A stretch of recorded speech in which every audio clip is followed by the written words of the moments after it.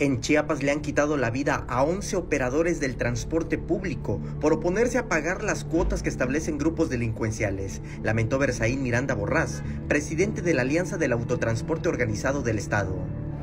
En este momento lo que sé extraoficialmente, por lo dicho por nuestros compañeros, eh, son 11 este, entre transportistas y operadores que han sido lamentablemente eh, asesinados que han perdido la, vida, quienes no pagaron la exigencia de los grupos delictivos de pago de derecho de piso.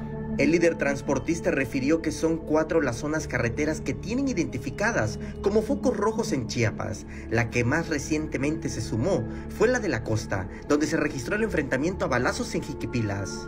En la autopista eh, las, las Chuapas eh, posteriormente se vino el conflicto que teníamos en la zona, eh, zonas indígenas, en la, sobre todo en la carretera de San Cristóbal eh, Palenque, pero posteriormente se vino y con mucho mayor auge la zona fronteriza y lamentablemente en la zona costa que se han generado ya varios asesinatos.